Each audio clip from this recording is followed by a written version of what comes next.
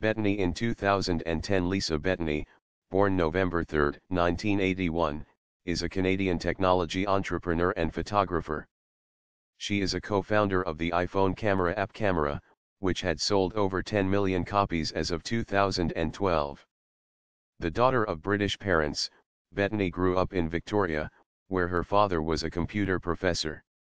She was a competitive figure skater from the age of 3 until a back injury ended her career at 19. Having grown up around computers, she developed her first blog and her interest in photography while recuperating. In 2009, Bettany partnered with an international team of six developers to develop Camera, which launched in June 2010.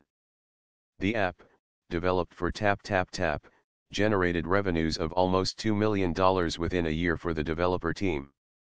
Lisa Bettany was included in the 2014 Fast Company Most Creative People in Business 1000 list.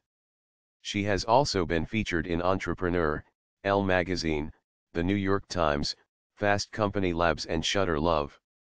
She is on the team at MacHeist as a producer and has played the characters of Sophia and Amelia.